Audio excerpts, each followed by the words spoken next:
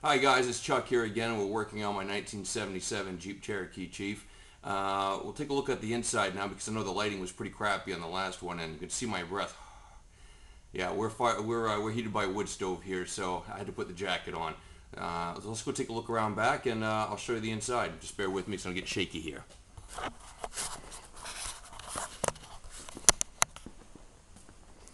All right. There's a Mickey Thompson's Baja, Mickey Thompson Baja claws there for your review. And we'll take a look at the inside. Again, this was an Arizona truck. And what you're seeing is a lot of dirt. Uh, not a lot of rust, but a lot of dirt because it's been uh, pretty filthy work so far. I'll take a look under the rubber mat I laid down here. Again, it's not too shabby. Again, man, that's heavy. Wow! She's pretty clean on the inside. I'm pretty happy with the, with the money invested so far.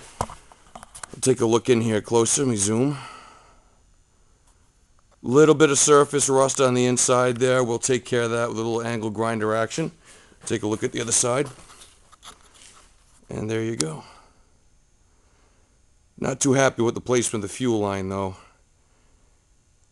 We're going to have some some troubles with that because she already leaks like a sieve when I go to fill it up. Now in the front, I've got a I've got the stock Jeep seat, which I really didn't like too much. It's really soft and really, it's like a La-Z-Boy chair that you sort of sink into and you don't really get a lot of firmness out of it. But over there on the passenger side, what I put in just temporarily now, just for review purposes, is a uh, 2006 Ford Escape uh, powered seat. Let me get a light here so I can show you a little better. We'll go back out. Just, again, she's still pretty clean on the inside. There was no surface rust to speak of just a little dirt. Now, here's one of the problems that I've already been tipped off to by the guys over at IFSJA. And that's the problem. The seats are great. They sit properly. And the, the brackets are such that uh, she's, she's good to go in terms of height. Now, here's the problem. If you're considering swapping out into a, another pair of seats from another, another model, another make of vehicle. Let me get in close here so you, you can see. See, in the back, I'm not too worried about being able to weld in some studs there for the back of the seats to, to mount up to. But in the front, we got a wee problem here. See, because the, the transmission hump right in the center there does it doesn't want to help the cause any at all. And I'm going to have to uh, cut that bracket down and maybe splice something in there. Otherwise, I'm going to have to I'm going to have to uh, cut out a slot of that uh, transmission hump and uh, I really don't want to do that. Although other guys have done it with some with some success, and it looks pretty good. Uh, again, you see, there's probably about give you an example just how high off that is. That's about the spread of my hands a little further.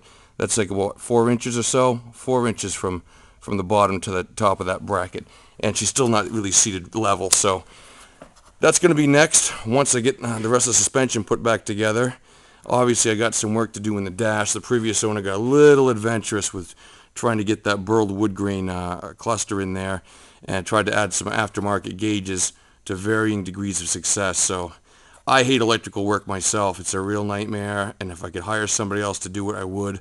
But I'm, uh, I'm what you call intrinsically uh, cheap and frugal. But we'll get her done. Hopefully, we'll send her out for inspection the next month, and with any luck, she'll pass. So if anybody wants these uh, wants these maroon original seats, let me know because I'm gonna ditch these. They they're real comfy as an armchair, not so much to drive in. And we'll take another look around here. Let me get on the inside. Bear with me here. As you can see, the floor.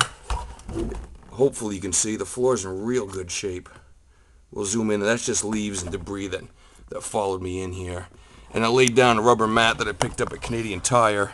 That's the stuff you use uh, to put on your porch in the wintertime up here in the north so that uh, you lay it on the porch, you cut up in strips, and you put it on your stairs so people don't slip off your stairs and you don't end up with a lawsuit on your hand.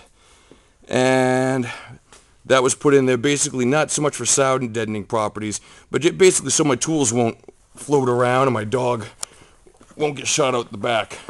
Speaking of which, one of the first problems I encountered, as many uh, full-size Jeep owners may have, is uh, the window wouldn't go down. Now I didn't know if it was the switch.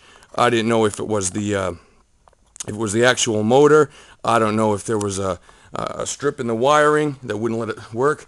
Found out the, a little too late though that the motor did work and there was no problem with that. All I had to do was hook up my my battery charger up to the positive and negative terminals here on, on these wires and, and reverse the polarity to get it go up and down. So I know my motor was fine. So the switch is probably bad or there's a break in the wiring somewhere along the line. So before you go uh, sticking your hands inside here because it's a really tight squeeze to get a, to get one of your paws up inside here uh, before you go screwing around the inside uh, maybe check the wires hook it up to your battery charger or spare battery that you might have and see if it's not the motor and uh, I should have done that first but sometimes I'm a knucklehead and I learn things the hard way alright uh, what else we got to look at let's go around to the front and let me aim the light here I'm no Martin Scorsese, folks. This is a budget operation. And we'll take it like that. There we go. Another Baja claw waiting to get mounted. And there we go again. Again, just surface debris right here on the floor. That That's all just a bunch of nothing right here.